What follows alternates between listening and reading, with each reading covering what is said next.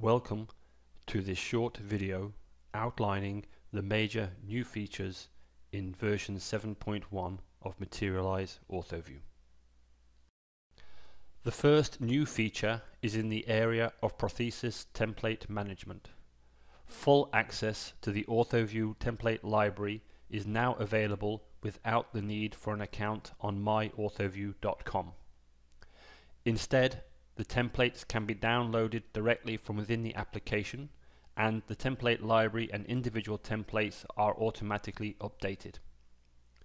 Templates can be downloaded in advance by an administrator if for example internet access is limited or on demand by a user. No additional user or system configuration is needed to use the new service. However, administrators can disable the feature if required. Access the template management screen located in the file drop-down menu to browse the entire library of over 145,000 prosthesis templates from over 70 manufacturers. Here you can select individual templates or groups of templates to be downloaded, deleted or refreshed. The icon on the right hand side of this panel indicates the current status of each template. Available indicates the template has been downloaded to the user system and is available to use with or without an internet connection. Online means the template is available to download. This can either be done manually within the template management window or will happen automatically when you select this template for the first time during planning, providing the workstation is connected to the internet. Update or expired indicates that a newer version of the template is available online for download. Again, this can be done manually within the template management window or will happen automatically the first time you select the template during planning.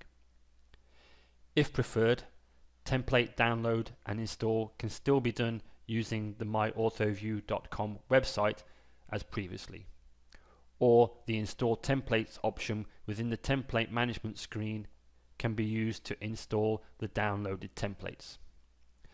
Finally, you can request new templates to be added to the library if you cannot find your preferred prosthesis or manufacturer. We will contact the manufacturer and let you know when the new template has been added. This process depends on the speed with which we receive the data from the manufacturer. During the planning process, the template tab allows you to select the required template for the procedure. Left clicking on the template banner displays a list of all the templates available from the library along with their current status.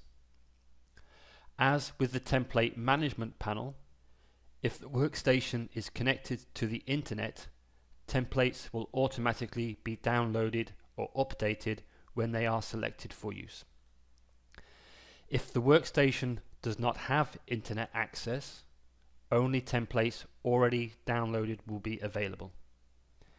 If this is the case, please contact your system administrator to have the required templates downloaded or updated for you to use. Above the template library list, when you left click on the template banner, your most recently used templates are shown to enable rapid selection of your favorites. The number of entries in this section can be set in the Preferences panel found in the File drop-down menu and can be set to display a maximum of 20 templates. And finally, another new feature in Materialise OrthoView 7.1 is the Cup Anteversion Wizard. This new automated tool allows you to measure the anteversion of an already implanted cup. During any planning session in Materialise OrthoView, you can use the Add Wizard option to select and add the Cup Anteversion Wizard to your plan. Once added to the list of wizards on the left hand side of the screen, check the box to display the wizard. There are two parts to the cup anteversion wizard. The dark blue circle is used to overlay the main outline of the cup, using the two control points positioned across the diameter of the cup, and the pale blue ellipse is used to overlay the visible face of the cup by dragging the single control point onto the elliptical edge of the cup face.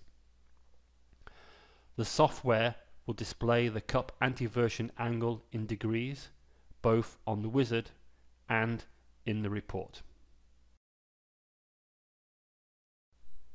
For additional hints and tips relating to every stage of the planning process, use the Smart Help tab located on the right hand side of the screen when using the software.